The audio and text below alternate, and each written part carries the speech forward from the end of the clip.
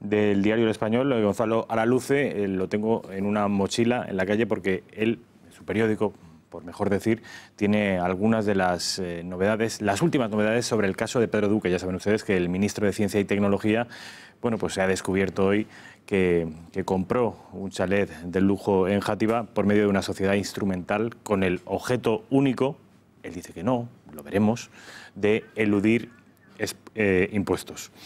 Gonzalo Araluce, buenas noches. ¿Qué tal? Buenas noches.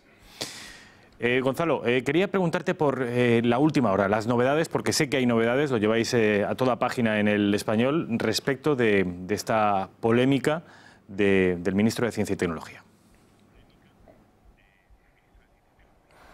Así es. Eh, bueno, hablar de última hora es un poco curioso, ¿no? Porque parece que a cada minuto que va pasando nos estamos encontrando con diferentes novedades relacionadas con este gobierno. Hoy le ha tocado a Pedro Duque y cada hora que está pasando es un nuevo episodio, ¿no? Eh, sobre su situación. Entonces, bueno, nos hemos encontrado hoy con una situación en la que conocemos que Pedro Duque tenía una sociedad patrimonial eh, bajo la cual estaban inscritas dos viviendas. La que con la que presuntamente evadía impuestos. Eh, la última hora con la que nos hemos encontrado es que hoy Pedro Duque ha dado una serie de justificaciones sobre esa situación, pero que no encajaban completamente con las cifras que tiene relacionada con su empresa. Su empresa se llama Copenhague Gestiones de, Inmuebles.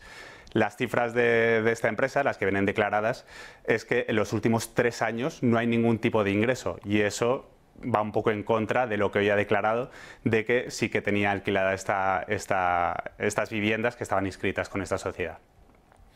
Lo que está claro, Gonzalo, entonces, eh, lo que tenemos seguro, garantizado ya, es que el ministro ha mentido. Eso en primer lugar. En segundo lugar, preguntarte por eh, qué supone tener eh, una sociedad instrumental de ese tipo y, y que no facture. ¿Esto qué implica? Eh, hay que tener una cosa bastante clara. Tener una sociedad de este tipo en ningún, caso es ilegal. Eh, hay muchas eh, personas que lo tienen y que no representan ningún tipo de, infracción. Lo que sí que supone una infracción es tener una vivienda a nombre de este tipo de sociedades y que o no estén en alquiler o no se vendan al precio de mercado estas viviendas. En los últimos tres años, por lo visto, no ha habido ningún tipo de ingreso en esta sociedad y por lo tanto, pues cabe poner en duda que se haya puesto en alquiler esta vivienda. Eh, Pedro Duque ha dado una serie de informaciones que yo creo que tendrá que ampliar o por lo menos aclarar sobre su situación, porque las cifras desde luego contradicen lo que él ha dicho. ¿Qué puede suponer todo esto? Pues nos encontramos en una clara infracción administrativa en caso de que no haya una, explicación convincente sobre su situación. Una infracción administrativa que se tendría que resolver seguramente con una sanción administrativa. Una sanción administrativa. Esto eh, traducido en términos políticos, y esto ya es eh, más, eh, te pregunto por, tu, desde tu punto de vista analítico y por tanto subjetivo, ¿tú crees que esta sanción administrativa, tratándose de quien se trata y formando parte del gobierno de Pedro Sánchez, que advirtió hace solo dos años que, en fin, que este tipo de cosas él no las iba a tolerar, ¿tú crees que podría incluso cobrarse la cabeza el ministro? Sanción administrativa, hablando claro, es eh, una multa, ¿no? Lo que todo el mundo podría entender como una multa, una sanción económica que él tendría que desembolsar. Para que tuviera que tener consecuencias mayores, por lo menos desde el punto de vista legal, eh, la cuantía que tendría que haber evadido fiscalmente tendría que ser bastante mayor de lo que en principio podría parecer, ¿no? Entonces, bueno, eh, en los últimos tres años no ha declarado ningún tipo de ingreso. Previamente sí que los había declarado y además coincide que sí que ha dejado de declarar ese tipo de ingresos cuando él vino a España. Entonces, cuando él podía disfrutar de esas dos viviendas. ¿Qué consecuencias podría tener todo esto en el plano político? Nos estamos encontrando con una situación, y eso ya es desde el punto de vista más subjetivo, ¿no? que para eso hemos venido también a debatir, eh, en el que el gobierno se está encontrando en una fragilidad eh, que está corroyendo sus raíces más profundas. ¿no? Apenas ha superado los 100 días de, gobierno y nos hemos encontrado con varios ministros en situaciones críticas. Ya hemos encontrado dimisiones.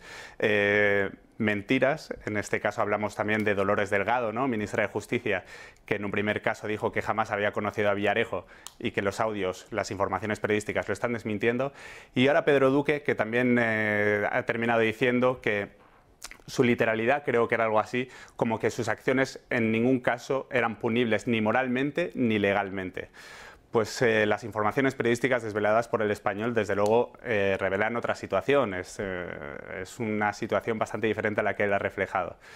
Ahí depende el listón que cada uno se haya puesto. Este gobierno, en un primer momento, presumía cuando estaba en la oposición y ahora presume cuando está en la Moncloa de tener un listón muy alto, muy exigente, ¿no? en cuanto a la, la, claridad de sus cuentas, eh, de sus miembros, de sus políticos. Entonces, ¿qué tendría que hacer él? ¿Qué tendría que hacer Pedro Duque? Desde luego, iniciar algún tipo de conversación con Pedro Sánchez, que es el que tiene que tomar la última decisión, y yo creo que ahí se encuentra en una tesitura bastante difícil ser fieles a su situación, eh, a su listón tan alto que ellos habían planteado, o bien mantener a Pedro Duque en el gobierno para evitar una debacle mayor. Gonzalo Araluce, eh, dos últimas preguntas. Eh, te habla en, este caso el colaborador con tertulio de esta noche, Adrián Arzuaga.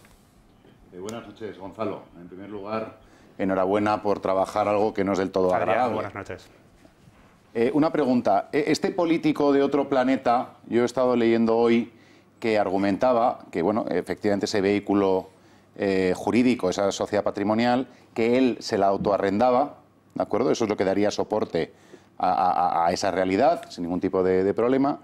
Eh, al parecer, cuando le solicitan de los últimos cinco años, porque lo anterior ya prescribe, eh, algún tipo de, argumento documental en el que se sostenga ese contrato de arrendamiento, eso hay constancia de que haya aparecido, porque inicialmente decía que no tenía por qué mostrarlo.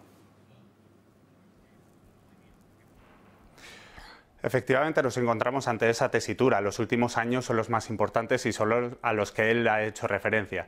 Son los más importantes porque son los que en principio y, supuestamente él habría disfrutado de las viviendas que están puestas a nombre de esta sociedad patrimonial. ¿no? Entonces, eh, la documentación que él ha presentado, cuál ha sido en su rueda de prensa, ha sido nula yo creo que desde mi punto de vista personal que lo más coherente hubiera sido que él hubiera eh, dado algún tipo de explicación de los consejos que él había recibido. Ha dicho que el, notario con el que lo escribió le dijo que era todo legal, pero que eh, en realidad estaba caído en una infracción ¿no? administrativa. En ese caso, pues él tendría que aclarar que iba a pagar la multa lo más rápidamente posible, que iba a atender a esta situación y a partir de ahí eh, intentar eh, seguir adelante o, ya admitir. Eso ya correspondería él por su cuenta. ¿no?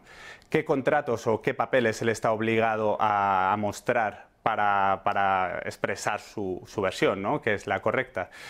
Pues eh, algún tipo de contrato efectivamente que contradiga, eh, aunque es bastante difícil porque esto ya es oficial, eh, las declaraciones que le ha hecho de los ingresos de sus empresas. En estos tres últimos años no ha declarado ningún tipo de ingreso y eso no encaja ni habiendo autoalquilado esa vivienda a sí mismo o a su familia. Eso es una cosa incomprensible y sería imposible de compatibilizar. Gonzalo, una última pregunta. Te habla Alejo Vidal Cuadras. Sí, buenas noches, Gonzalo.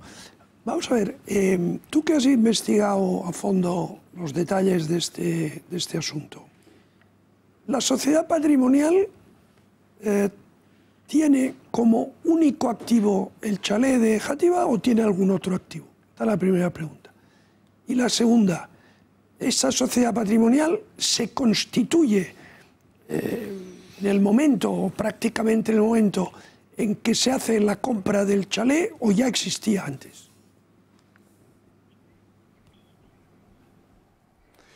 Pues parece, eh, según las informaciones periodísticas reveladas, tanto que hemos publicado en, varios medios, empezando por OK Diario esta mañana y nosotros por el español, que por lo menos dos viviendas están constituidas bajo el nombre de esta sociedad patrimonial. ¿no?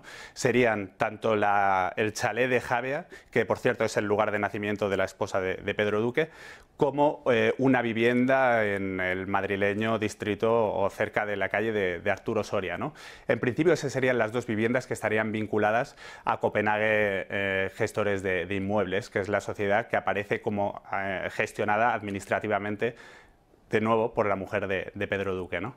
Eh, ¿En qué momento se constituyó esta empresa? Pues lleva constituida ya desde hace varios años y en los balances que podemos encontrar de esta empresa nos encontramos eh, tanto con ingresos como con pérdidas. Se podría corresponder con eh, ingresos por alquileres, por arrendamientos, como por cualquier otro tipo de gestión. ¿no? Se crearon antes de, comprar estas dos viviendas, que son las que están ahora mismo bajo el foco y que han puesto en un, brete ¿no? de nuevo al gobierno y, y ahora a Pedro Duque, ministro de Ciencia. Gonzalo Araluce, eh, nuestra enhorabuena desde el gato al agua y, muchas gracias por, por haber entrado en directo para esta casa. Buenas noches.